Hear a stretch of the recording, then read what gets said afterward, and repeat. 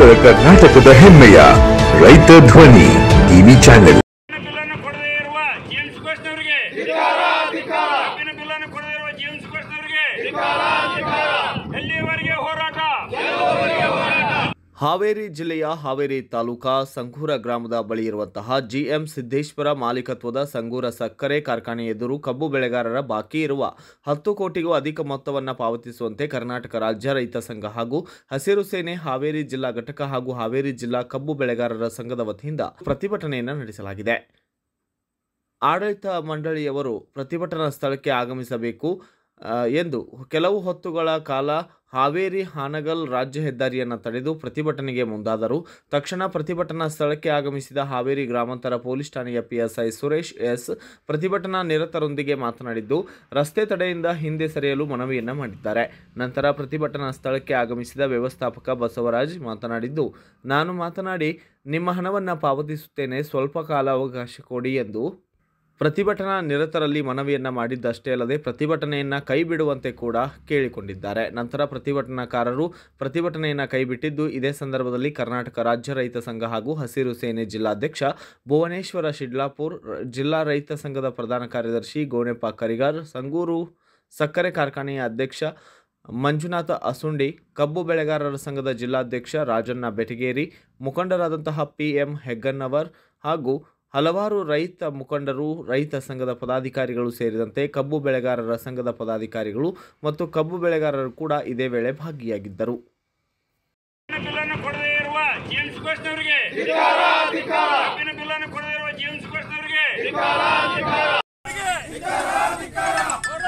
ಹೋರಾಟ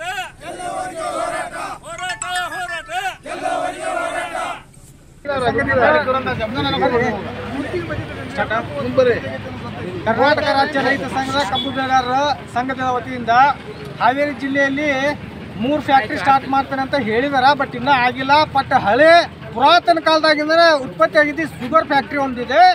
ನಮ್ಮ ಜಿಲ್ಲೆಯವರಾದಂಥ ಬಸವರಾಜ್ ಬೊಮ್ಮಾಯಿ ಸರ್ಗೂ ಹಾಗೆ ಜಿ ಎಂ ಸಿದ್ದೇಶ್ ಅವರಿಗೆ ನೇರವಾಗಿ ಹೇಳೋದಂದ್ರೆ ರೈತರಿಗೆ ವಿಷ ತಗೊಂಡ್ ಸಾಯಿರಿ ಅಂತ ಅನ್ನೋ ಮಟ್ಟಕ್ಕೆ ನೀವು ಮಾಡಕತ್ತೀರಿ. ಯಾಕಂದ್ರೆ ಪ್ರತಿ ಒಬ್ಬ ಕಟಾವಿನ ಚಾರ್ಜ್ ಬಡ್ಡಿ ಹಂಗೆ ತಂದು ರೊಕ್ಕ ಕೊಟ್ಟಾರ ಎರಡು ತಿಂಗಳಾದ್ರೂ ಬಿಲ್ ಹಾಕಿಲ್ಲ. ಒಳ್ಳೇದು. ಇವ್ರಿಗೆ ಐದು ಕೋಟಿ, ಹತ್ತು ಕೋಟಿ ಇನ್ನೂ ಬಿಲ್ ಹಾಕಿಲ್ಲ ಅಂದ್ರೆ ಇವ್ರಿಗೆ ಒಂದು ತಿಂಗಳಿಗೆ ಹತ್ತರಿಂದ ಇಪ್ಪತ್ತು ಲಕ್ಷ ರೂಪಾಯಿ ಉಳಿತಾಯ ಮಾಡಕತ್ತಾರ. ಅದಕ್ಕೋಸ್ಕರ ದಯವಿಟ್ಟು ನೀವು ರಾಜಕಾರಣ ಮಾಡೋದು ಬಿಟ್ಟು ರೈತರಿಗೆ ಬಿಲ್ ಹಾಕುವಂಥ ವ್ಯವಸ್ಥೆ ಮಾಡಬೇಕು ಮುಂದಿನ ದಿನಮಾನಗಳಲ್ಲಿ ಕೇಂದ್ರ ಸರ್ಕಾರ ಮತ್ತು ರಾಜ್ಯ ಸರ್ಕಾರದಲ್ಲಿ ನಿಮ್ಮದೇ ಸರ್ಕಾರ ಇರೋದ್ರಿಂದ ರೈತರು ನಿಮ್ಗೆ ತಕ್ಕವಾದ ಪಾಠ ಕಲಿಸ್ತಾರೆ ಅಂತ ನಾನು ನೇರವಾಗಿ ಹೇಳಕ್ಕೆ ಇಷ್ಟಪಡ್ತೇನೆ. ದಯವಿಟ್ಟು ಜಿ ಎಂ ಅವರು ಸರ್ಕಾರಕ್ಕೆ ಬೊಮ್ಮಾಯಿಯವರು ಹೇಳ್ಬಿಟ್ಟು ತಕ್ಷಣ ಬಿಲ್ ಹಾಕುವಂಥ ವ್ಯವಸ್ಥೆ ಮಾಡದೇ ಇದ್ರೆ ಇದು ಉಗ್ರವಾಗ ಪ್ರತಿಭಟನೆ ಮಾಡ್ತೇವೆ. ಈ ರೈತ ಕಬ್ಬು ಬೆಳೆಗಾರ ಸಂಘದಿಂದ ಹೇಳಕ್ಕೆ ಇಷ್ಟಪಡ್ತೇನೆ. ಕರ್ನಾಟಕ ರಾಜ್ಯದಲ್ಲಿ ರೈತರ ಪರಿಸ್ಥಿತಿ ಎಷ್ಟು ಚಿಂತಾಜನಕವಾಗಿದೆ ಅಂದರೆ ಕಬ್ಬು ಹೊಡೆದು ಎರಡು ತಿಂಗಳಾದರೂ ಕಬ್ಬಿನ ಬೆಲೆ, ಕಬ್ಬಿನ ಬಿಲ್ಲನ್ನು ಹಾಕದಂಥ ಈ ಜಿ ಎಂ ಶುಗರ್ಸ್ ಮಾಲೀಕರಿಗೆ ಸರ್ಕಾರಕ್ಕೆ ಹೇಳುವ ತಾಕತ್ತು ಮೊದಲೇ ಇಲ್ಲ. ಯಾಕಂದ್ರೆ ಈಗ ಎರಡು ತಿಂಗಳಾಯಿತು ನಾವು ಕಬ್ಬು ಹೊಡೆದು ರೈತರು, ಕಬ್ಬಿನ ಬಿಲ್ಲಿಗಿಲ್ಲ. ನಮ್ಮ ಜಿಲ್ಲೆಯವರೇ, ನಮ್ಮ ಬಿ ಸಿ ಪಾಟೀಲರು ಕೃಷಿ ಮಂತ್ರಿಗಳಿದ್ದಾರೆ. ನಮ್ಮ ಜಿಲ್ಲೆಯ ಮುಕ್, ನಮ್ಮ ಜಿಲ್ಲೆಯವರೇ ಆದ ಬಸವರಾಜ ಬೊಮ್ಮಾಯಿರು ಮುಖ್ಯಮಂತ್ರಿಗಳಿದ್ದಾರೆ. ಇಷ್ಟೆಲ್ಲ ಇದ್ದರೂ ಇರುವುದು ಒಂದೇ ನಮ್ಮ ಈ ಜಿಲ್ಲೆಯಲ್ಲಿ ಏಕೈಕ ಫ್ಯಾಕ್ಟ್ರಿ. ಈ ಫ್ಯಾಕ್ಟ್ರಿಗೆ ಎರಡು ತಿಂಗಳಾದರೂ ಕಬ್ಬಿನ ಬಿಲ್ ಕೊಟ್ಟಿಲ್ಲ ಅಂದರೆ ರೈತರು ಪರದಾಡುವಂಥ ಪರಿಸ್ಥಿತಿಯಾಗಿದೆ. ಈಗ ರೈತರಿಗೆ ಇವರು ಎಷ್ಟು ಮೋಸ ಮಾಡ್ತಿದ್ದಾರೆ ಅಂದರೆ ಇವ್ರಿಗೆ ಒಂದು ದಿನಕ್ಕೆ ಒಂದರಿಂದ ಒಂದೂವರೆ ಲಕ್ಷ ರೂಪಾಯಿ ಬೇರೆ ಬಡ್ಡಿ ಉಳಿತಾಯ ಆಕೈತಿ ರೈತರಿಗೆ ಕೊಡೋ ಕಬ್ಬಿಂದು.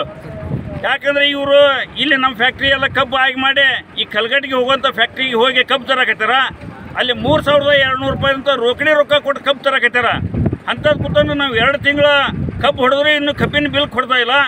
ಇಲ್ಲಿ ಆಡಳಿತ ಮಂಡಳಿಯವರು ಯಾರಿಗೆ ರೈತರಿಗೆ ಆತಿ ರೈತ ಮುಖಂಡರಿಗೆ ಆಯ್ತು? ಇವರು ಸ್ಪಂದನೆ ಮಾಡ್ತಾ ಇಲ್ಲ. ಇವರ ಉದ್ದೇಶ ರೈತರಿಗೆ ಮೋಸ ಮಾಡೋದು ಒಂದೇ ಉದ್ದೇಶ. ಇವರು ರೈತರಿಗೆ ಎಲ್ಲಿ ಮಟ್ಟ ಮೋಸ ಮಾಡಕತ್ತಾರ ಅಂದ್ರೆ ರೈತರು ಇವ್ರಿಂದ ವಿಷ ತಗೊಳ್ಳೋ ಪರಿಸ್ಥಿತಿ ರೈತರಿಗೆ ಬಂದೈತಿ.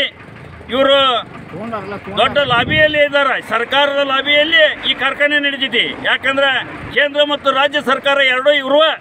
ಅದ್ರಾಗ ಇವರು ಎಂ ಪಿ ಅದರ. ಇವರು ಆ ದುರುದ್ದೇಶದಿಂದ ರೈತರಿಗೆ ಗೋಳು ಇಟ್ಟಕತ್ತಾರ ಆದಷ್ಟು ಮಾನ್ಯ ಮುಖ್ಯಮಂತ್ರಿಗಳು ತಮ್ಮ ಜಿಲ್ಲೆಯವರೇ ಆದ ಇಂದು ತಾವು ಜಿಲ್ಲೆಗೆ ಆಗಮಿಸುತ್ತಿದ್ದೀರಿ. ಈ ರೈತರ ಕಷ್ಟಗಳನ್ನು ನೋಡಿ ನೀವು ಕಾರ್ಖಾನೆ ಮಾಲೀಕರಿಗೆ ಬಿಲ್ ಹಾಕಲು ತಾವು ಸೂಚನೆ ಕೊಡಬೇಕು. ಈಗಾಗಲೇ ಮುಖ್ಯಮಂತ್ರಿಗಳು ಮಂಡ್ಯದಲ್ಲಿ ಹೋದಾಗ ಸಕ್ಕರೆ ಕಾರ್ಖಾನೆಯ ಬಗ್ಗೆ ಬಹಳಷ್ಟು ಮಾತಾಡಿದ್ದೀರಿ. ನಾವು ರೈತರಿಗೆ ಇಥನಾಲ್ ತಯಾರು ಮಾಡಿದವರಿಗೆ ಒಂದು ನೂರ ಐವತ್ತು ರೂಪಾಯಿ ಒಂದು ಟನ್ನಿಗೆ ಕೊಡ್ತೀವಿ. ಇಥನಾಲ್ ತಯಾರು ಮಾಡಲಿಲ್ದವರಿಗೆ ಒಂದು ನೂರು ರೂಪಾಯಿ ಕೊಡ್ತೀನಿ ಅಂತ ಹೇಳಿರಿ. ಅದು ಇಂದು ಕಾರ್ಯಗಳು ಆಗಿಲ್ಲ. ಈಗ ನೀವು ಇಲೆಕ್ಷನ್ ಹತ್ರ ಬಂದೈತಿ. ಜನರ ಕಷ್ಟ ಅಂತ ಅರ್ಥಗಳ್ರಿ. ನೀವು ಎಲ್ಲರೂ ಇಲೆಕ್ಷನ್ನಾಗಿ ಮುಂದೆ ಬೀಜ ಹಾಕಿರಿ. ನೀವು ಇಲೆಕ್ಷನ್ ಬೀಜ ಆಗೋದಕ್ಕಿಂತ ಪೂರ್ವದಾಗ ನಮ್ಮ ರೈತರ ಬಿಲ್ ಎಲ್ಲ ಬಗೆಹರಿಸ್ರಿ ಅಂತ ಹೇಳಿ ತಮ್ಮಲ್ಲಿ ಮನವಿ ಮಾಡ್ಕೊಳ್ತಾ ಇದ್ದೀನಿ.